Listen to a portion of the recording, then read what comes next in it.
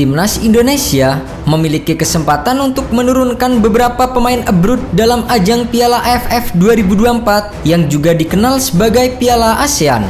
Meskipun demikian, dengan jadwal yang padat di liga masing-masing, hanya ada beberapa pemain abroad yang kemungkinan akan membela skuad Garuda. Piala AFF 2024 dijadwalkan dimulai pada 8 Desember 2024 dan akan berakhir pada 5 Januari 2025. Perlu dicatat, bahwa Piala AFF 2024 belum termasuk dalam agenda resmi FIFA. Hal itu dapat menyulitkan timnas Indonesia untuk memanggil pemain-pemain kunci, terutama yang berlaga di Eropa. Namun, hal ini tidak berarti bahwa semua pemain Indonesia yang bermain di luar negeri tidak dapat dipanggil. Beberapa dari mereka mungkin masih bisa bergabung, tergantung pada jadwal klub masing-masing. Dan berikut adalah lima pemain abroad yang dapat perkuat timnas Indonesia di Piala AFF 2024.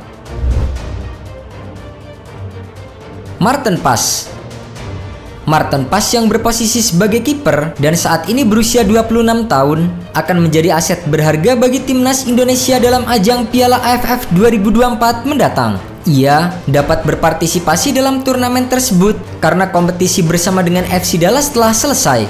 FC Dallas telah menyelesaikan pertandingan terakhir mereka di Major League Soccer dengan menghadapi Sporting KC pada 20 Oktober 2024. Sayangnya, FC Dallas tidak berhasil mencapai babak playoff sehingga mereka kini memasuki masa libur akhir musim. Dengan situasi ini, Martin Pass memiliki kesempatan untuk memperkuat timnas Indonesia dan menunjukkan kemampuannya di pentas internasional. Jordi Amat Jordi Amat seharusnya dapat memperkuat timnas Indonesia berdasarkan jadwal yang telah ditentukan. Namun, keputusan akhir mengenai keikutsertaan Jordi Amat tetap berada di tangan GDT sebagai klub apakah mereka akan mengizinkannya untuk bergabung dengan timnas atau tidak. Johor Darul Takzim di Liga Super Malaysia akan mengalami libur mulai pekan kedua November 2024 bertepatan dengan FIFA Matchday. Meskipun begitu, GDT masih memiliki jadwal di AFC Champions League Elite hingga awal Desember 2024.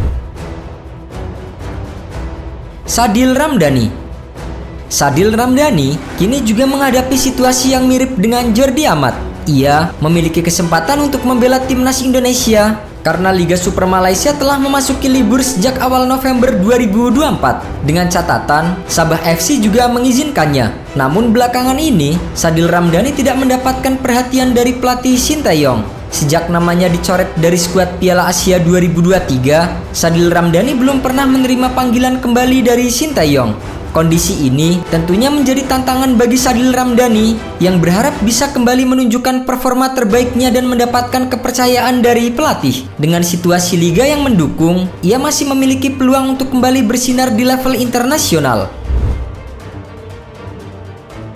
Asnawi Mangkualam Asnawi Mangkualam yang berposisi sebagai bek kanan dan saat ini berusia 25 tahun, memiliki peluang besar untuk mendapatkan izin dari Port FC guna berlaga di Piala AFF 2024. Situasi serupa juga dialami oleh para pemain timnas Thailand yang berkompetisi di Thai League One. Hal ini semakin memungkinkan karena saat Piala AFF berlangsung, kompetisi Thai League One akan diliburkan. Dengan adanya kesempatan ini, Asnawi dapat berkontribusi secara maksimal bagi timnas, sekaligus memperkuat posisinya di level internasional.